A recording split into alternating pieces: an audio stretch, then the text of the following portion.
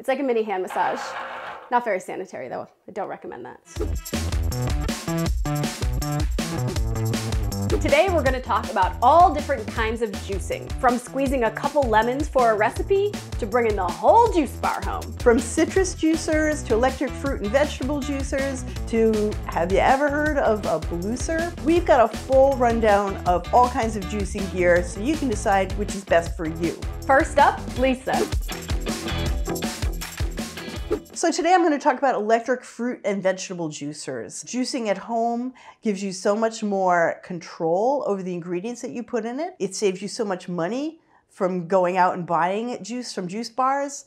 And, you know, it's much more convenient than buying pre-made juice, but only if you have the right juicer. So there are two styles of electric juicers, centrifugal and masticating. And those terms refer to how they actually process the food into juice. We tested nine different models. We processed over 95 pounds of produce before we came up with our winners in each category. So we have something to offer you if you prefer a centrifugal or a masticating juicer. This is our favorite centrifugal juicer. It's by Breville. It's the Breville Juice Fountain Cold. Cold refers to the fact that it is designed to not to heat up the produce while it's processing, and that's going to keep more of the nutrients intact. What they do is it chops and then it spins and that forces the juice out through a screen, a metal screen, and into this juice pitcher. And on this side, you get squeezed out spent produce. So this is a big bin for pulp and this will be the pitcher for the juice. And it's nice because it hooks right on here and you can pull this off and serve from it. It closes for storage. Although you really should drink all fresh juice within a day or two. You want to have it when it's freshest. That's when it tastes best. It's not really meant to like juice a gallon of stuff and keep it all week. Let's show you a little bit about how this works. This model has a pitcher that comes off. It's a big clear pitcher with markings for the measurements. This bar keeps you from operating it when it's not fully closed, so it's a safety measure. There's a feed tube. It's kind of like a food processor. A feed tube, a hopper where it's actually getting processed. Juice comes out here, pulp comes out here and gets collected in this big bin. What you want to do in every case is use this juicer in a way that will get the most juice out of your produce. With a few tips, you get a really good result with this juicer or with any centrifugal juicer in general. So first, there's two speeds, low and high. Depending on the kind of food you're putting in, you want to choose low or high. So low speed for things that are softer, that need more time to stay in the hopper and get processed. High speed for hard produce like carrots or beets or something that's really going to need to be forced through. The other thing you need to know is how to prepare the food to go in this hopper. One nice thing about centrifugal juicers like this one, three inch feed tube, very wide. You could put a whole apple in there if it fits. Although we really think you should core apples and pears and take the seeds out because a little bit of seeds are okay. They won't go into your juice, but there are some toxins in those seeds for apples and pears that you don't want if you're doing this every day and you're drinking it with the seeds in not such a great idea. It's centrifugal juicing. The bigger the pieces, the better, and that will help it process. So size matters. Okay, so I'm going to juice some kale. And the other thing you want to know is you don't want to chop this up and put it in little pieces, and you don't want to put it in one leaf at a time. You're actually going to take this stuff and make it into as tight a bundle as you can. So you can roll it up or bunch it up and really pack it so that it will go through and I'm to stick it in the feed tube, and get it ready. So now there's a rule of thumb in layering ingredients when you're adding different things. If you're to do a mixed juice, you want to put the lighter things on the bottom, heavier things on top. It weighs them down. I'm to start processing this on low speed.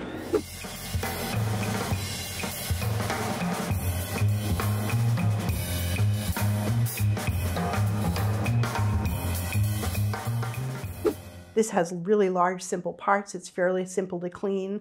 Really big bonus because if you're going to use this, you really want it to not be a big pain to clean. This is a masticating juicer. It's the Omega vertical juicer. And masticating is another word for chewing. So this is what it does. It has little gears that grind and chew the food up. And the pulp comes out dry as dust. I put an apple through here and being me, I go ahead and taste the pulp. It was like a wood chip. It had no flavor. It was red, like you could see where the skin had been, but no flavor. Masticating is considered kind of the high end of juicers because it is really able to extract every last drip of juice out of any kind of produce you put in here. And it has one speed. It takes a little more preparation before you put things in. This feed tube is one of the biggest ones. Well, you can see by the pusher, it's a couple inches across and maybe an inch wide. This has one of the biggest feed tubes in the masticating world. It's not as big as that big wide feed tube that you saw on the centrifugal juicer. There's two directions it's on or reverse. Reverse is good if you just want to send the grinding gears in the other direction in case anything's getting stuck. This is the pulp collecting bin and this is the juice collecting carafe. And here we go.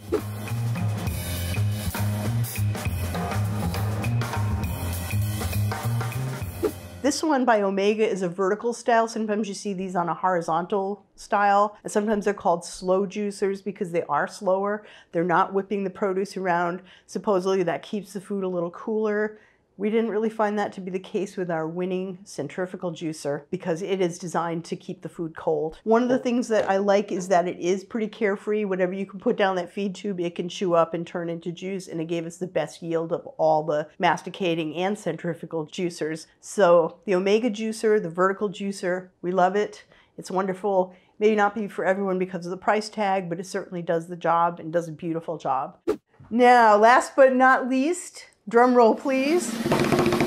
The Bluicer. Yeah, we laugh every time we say that because it's kind of such a silly name, but it's kind of an interesting product. It is a base with a juicer and a blender. So blender, juicer, Bluicer. Here is the portion with the screen and the blades, pulp bin on the bottom, juicer on top, lock it down, gigantic feed tube, just like the Juice Fountain Cold. I think the advantage of this one is that it has our favorite mid-price blender and our favorite centrifugal juicer kind of in one. You can have a little fun with this thing. I'm gonna put, um, let's put some carrots in.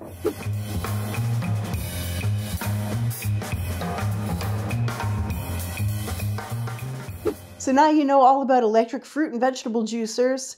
Let's go to Hannah for some information on citrus juicers. All right, so Lisa just covered the bigger juicers that can juice all kinds of fruits and vegetables. Today, I'm going to focus on citrus juicers. And within this category, there are two styles. There's manual ones and there's electric. So there were three kinds of manual reamers. The first and most simple is the little wooden dowel. Very easy to clean, very simple, one piece. It did not yield that much juice. You know, it was like around 30% less than other models, so forget it. The ones you press down on the tabletop, these were a little easier to use because you could use the weight of your body and force down, but they had a lot of parts and they were pain to clean, so forget those.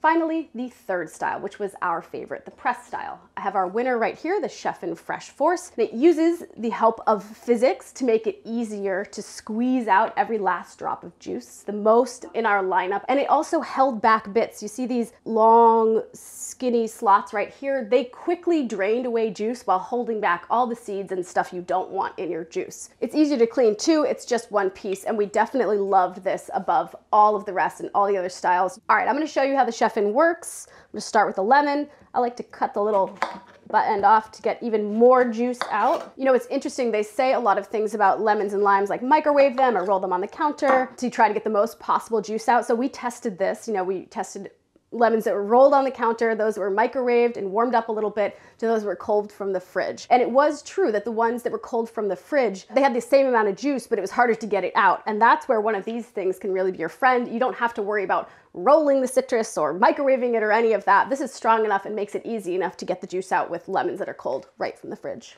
All right, let's see how this thing works.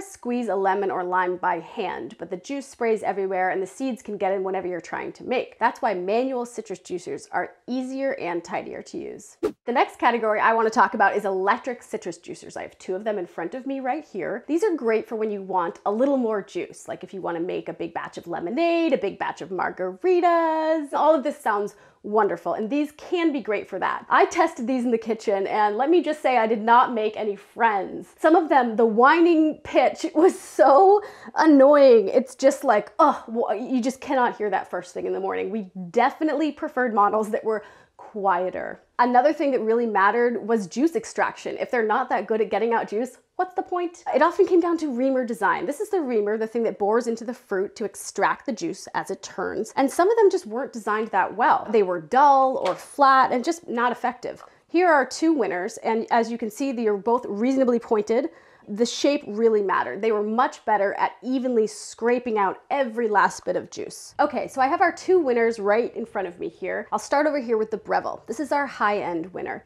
It has all the luxury options. This little spout, you can push it up and push it down so it won't drip juice on your counter. This is the luxury model. If you love juicing, if you juice every morning, this might be the model for you. But we also have a less expensive option over here, the Dash. It's made of plastic, but you know, it's smaller, so you can store it away. The Dash really punched above its weight at juice extraction. It did a great job of getting out every last drop, you know, so it really performed well. All right, let me show you how these things work. I'm gonna start with the Breville over here, the luxury option.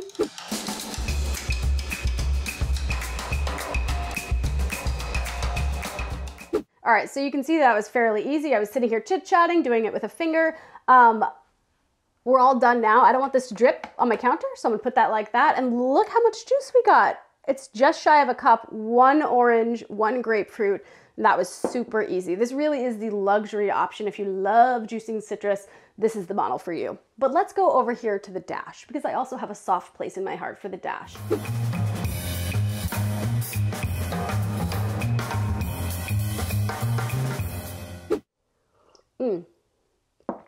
Oh, it's it's absolutely delicious. So fresh and light. Worlds better than the store-bought stuff.